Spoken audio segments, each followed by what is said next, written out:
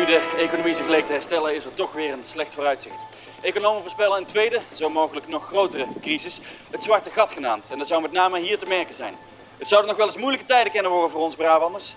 Ik hou je op de hoogte.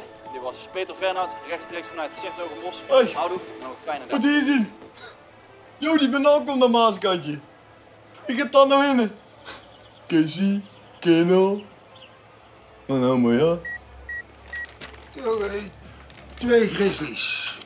Bami, Picanto, twee Osbrinkies, Cito stick, broodje warm vlees en een viandel, grote portie kipnugget en twee broodjes bakbouw. Hé Henk. Je bent met een kipknotsen vergeten, jongen. Ga jij niks besteld? Wel, jongen. Helemaal niet. Helemaal wel. Verrekte mongool. Ja. Wacht hoor, autochauffeur. Eh, eh.